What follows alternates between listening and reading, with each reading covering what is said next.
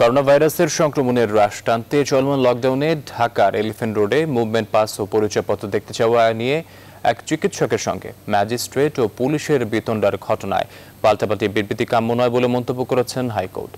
আদালত বলছেন, প্রজাতন্ত্রের সব সরকারি কর্মকর্তা কর্মচারীকে তাদের পেশাগত দায়িত্ব যথাযথভাবে পালন করতে হবে।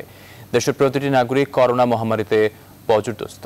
যে কারণেই হোক, একটি ঘটনা ঘটে গেছে, কিন্তু পেশাজীবী সংগঠন এ ঘটনায় বিবৃতি দিয়েছে এবং এর পাল্টা বিবৃতিও দেওয়া হয়েছে।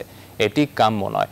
মঙ্গলবার সুপ্রিম কোর্টের আইনজীবী মোহাম্মদ ইউনুস আলী আকন বিষয়টি আদালতের নজরে আনলে বিচারপতি এম এনায়েতুর রহিম ও বিচারপতি মোহাম্মদ রাশেদ জাহাঙ্গীরের হাইকোর্ট বেঞ্চ এ মন্তব্য করেন।